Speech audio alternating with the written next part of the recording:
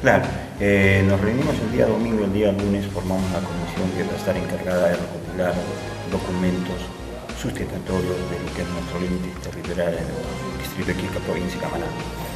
Eh, le, di la tarea al, arquitecto que trabaja en esta municipalidad para sacar fotocopias de los tres tomos que se encuentran en sustento de nuestros límites, que de, la anterior gestión ha podido recopilar todos esos documentos para presentar en la fecha que nos está eh, citando más que todo el gobierno regional que viene a ser el 21 de, marzo.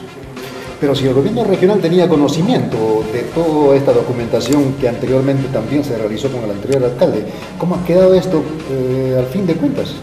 Sí, que tengo conocimiento, tengo conocimiento que en su debido tiempo la anterior gestión presentó este, cada uno de los tomos al gobierno regional sustentando nuestra jurisdicción hasta Quebrada Honda, que es el límite geográfico, ¿no? Eh, eh, que no sé la verdad que habrá pasado, pero este, nosotros vamos, como alcalde, vamos a reponer eh, ese documento sustentatorio de lo que es nuestra jurisdicción. ¿no? Un compromiso que, hemos tenido con, con, todo lo que hemos formado la comisión, programamos el día sábado, no recuerdo la fecha, hacer una, una inspección ocular hasta la zona de Quebrada Honda. Fuimos con el alcalde provincial, eh, regidores por parte de él, por parte de nosotros, a la vez llevé el juez de paz de Quilca para levantar un acta en el lugar del límite que es Quebrada Honda. Constituimos ahí a la misma playa, hicimos el acta eh, de constatación de nuestra jurisdicción prácticamente. Alcalde, ¿y no hay posibilidades de poder poner alguna señalización? No, de temor yo pienso que no, sino que falta una decisión, gracias a bien por aporte que nos está dando, creo que sí tenemos que poner la pila para poder construir algunos paneles de identificación de cada una de nuestras playas, en todo caso Quebrada Onda, Carrizal, San José, Aguata, Morato, eh, Arantas y todas las, playas que, que conciernen a nuestra jurisdicción de Quito. Se continuará luchando hasta el último día, hasta donde verdaderamente se ponga ya a través de documentación que eh, pertenece hasta Quebrada Onda? Yo pienso que sí. Eh, eh, lo hablo cada rato porque, porque en cierta forma Henry Cáceres ha estado ocho años como, como alcalde, ha sustentado cada uno de los documentos de la jurisdicción, pero en los ocho años todavía no ha salido una ley de límites que se diga, ¿no? Hasta que es Matarani o hasta que es Quilca, hasta que es Camaná, hasta acá es Islay. Entonces nosotros este, estamos más que todo este, cierta forma presentando documentos y estando presentes en cada una de las playas para que quien tiene que definir esto, estos límites, eh, más que todo colocar los sitios y definir nuestra jurisdicción prácticamente. Hemos puesto cuatro tachos entre las playas que más son acogidas por los turistas de Quilca,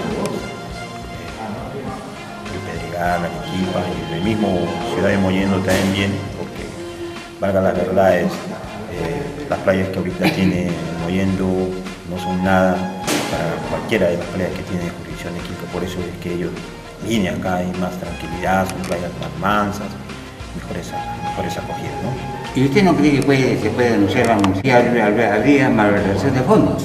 Yo pienso que sí. Ellos este, han dado la iniciativa ¿no? de venir a hacer limpieza de las playas de igual manera nosotros también estamos haciendo la limpieza de las playas, entonces ellos como nosotros eh, tenemos esa, esa posesión de, limpieza de las playas, pero yo pienso que tiene que definir que todo es el gobierno regional, toda la gente, los entes que, que van a regular estos límites territoriales, que no solo es dentro de la provincia de Camená y Islay, sino a nivel nacional hay este, problemas que es este, jurisdicción. Pero en Aranta no habría ningún problema, problema por ejemplo, en Aranta Sí, hay hechos históricos que, es Arantas es de Quilca, es porque han nacido pequeños ahí, incluso están aquí en nuestro distrito de Quilca, hay familias, ya están ya de cierta edad, ellos han vivido ahí, han nacido ahí, sus padres trabajaban ahí y voy a dar un dato muy importante. Ahora ya contamos con sistemas muy adelantados, celulares, pero antes, anteriormente, este, medio de comunicación era mediante el telégrafo.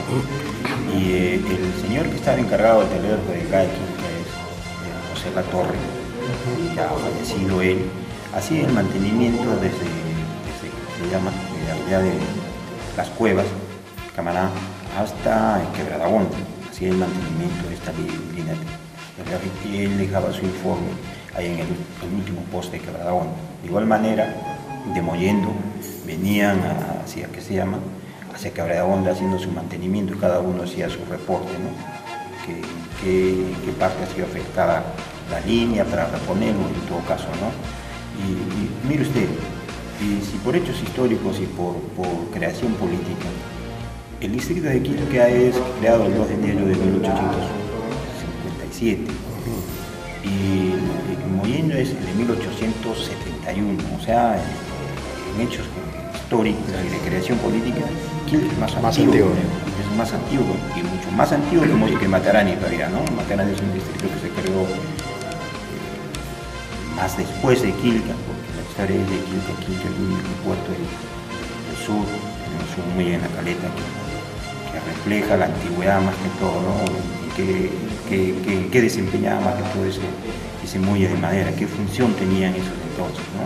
O sea, la- historialmente eh, son terrenos, en todo caso, arantes y, y hasta que hablaban son terrenos que, que están dentro de la ley de creación del distrito de Quilca. Señor alcalde, hay eh, Ahí sí tener- tenemos que tener el apoyo de la Municipalidad Provincial de Camaná. Ellos tienen entregado lo Entonces, para que en cierta forma el alcalde provincial nos apoye para hacer un... eh, ya hemos adelantado hacer un levantamiento topográfico de todas las playas. Hemos llegado hasta la Guata, nos faltan las otras playas, entonces, para hacer un corredor turístico, justamente, el señor- claro, entonces, justamente el señor me estaba sugiriendo ¿no? que lo que es nuestra jurisdicción. ¿no? Claro, ¿usted no cree que más que todo también este señor Exactamente.